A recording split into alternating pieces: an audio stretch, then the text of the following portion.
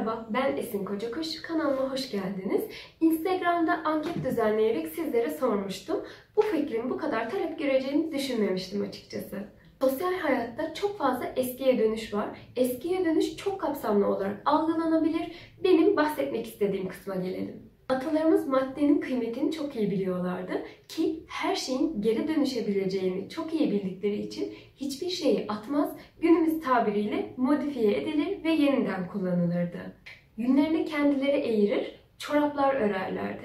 Eskiyen, delinen çoraplar asla atılmaz, yamalanır ve tekrar tekrar kullanılırdı.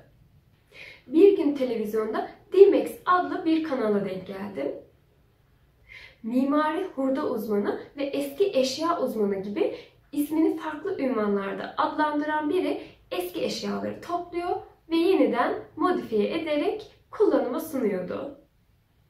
Hepsine tarih gözüyle bakıyordu. Bu eski eşyaları öyle fiyatlara satıyor ve öyle yerlerde değerlendiriyordu ki bizim çöp gözüyle baktığımız eşyalar çok büyük anlamlar kazanıyordu.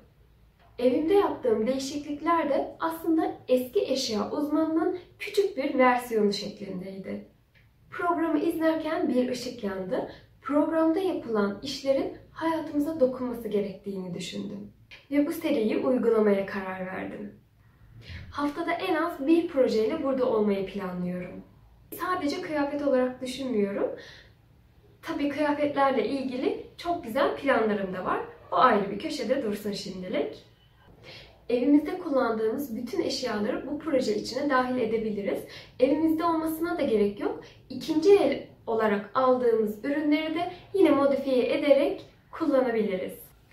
Böylelikle tüketim çılgınlığından kendimizi biraz daha soyutlayıp üreten, biriktiren, tasarruf eden, israf etmeyen bir toplum olma yolunda örnek olmuş olur. Umarım bu fikirlerim sizlere de ışık olur, yol gösterir.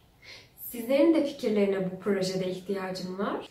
Lütfen fikir ve önerilerinizi aşağıya yorum olarak bırakmayı unutmayın. Videomu beğendiyseniz beğenmeyi, kanalıma abone değilseniz abone olmayı ve tüm videolarımdan anında haberdar olmak için zil işaretini açmayı unutmayın.